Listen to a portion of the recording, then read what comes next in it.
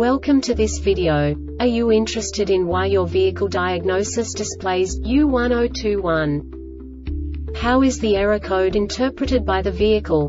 What does U1021 mean, or how to correct this fault? Today we will find answers to these questions together. Let's do this. First, let's look at the history of diagnostic fault code composition according to the OBD2 protocol, which is unified for all automakers since 2000.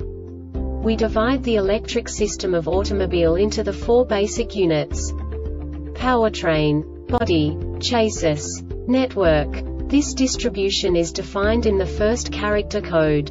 If the second character is expressed as zero, it is a standardized error. In the case of numbers 1, 2, 3 it is a more prestigious expression of the car-specific error. The third character specifies a subset of errors. The distribution shown is valid only for the standardized DTC code. Only the last two characters define the specific fault of the group.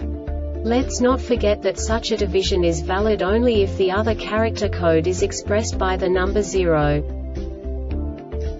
Our website airbagreset.sk produces useful videos for you. You do not have to go through the OBD2 protocol anymore to know how to troubleshoot any car breakdown. You will find all the diagnostic codes that can be diagnosed in a Mercury vehicles. Also many other useful things. The following demonstration will help you look into the world of software for car control units. You unbelievably can move the video a bit further.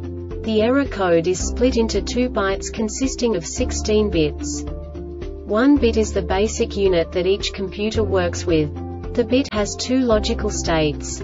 0, low level, 1, high level. By combining the first two bits, the basic character of the error code is expressed.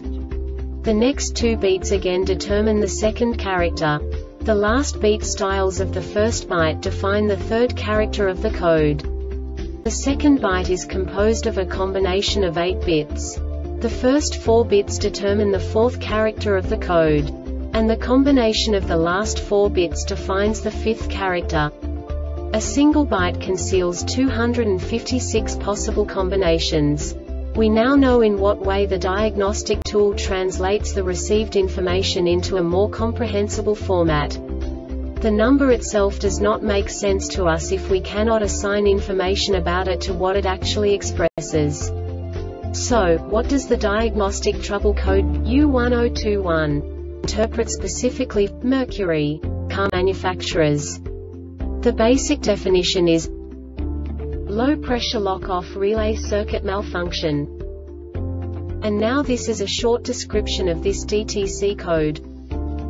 Key on or engine running, and the PCM detected the actual state of the LPL solenoid and the commanded stated did not match for 1 second's ignition voltage is supplied to the low pressure lock-off LPL solenoid through the LPL relay the PCM controls TH. This diagnostic error occurs most often in these cases. LPL relay control circuit is open or shorted to power LPL relay control circuit is shorted to ground LPL relay is damaged or it has failed PCM has failed. The Airbag Reset website aims to provide information in 52 languages. Thank you for your attention and stay tuned for the next video.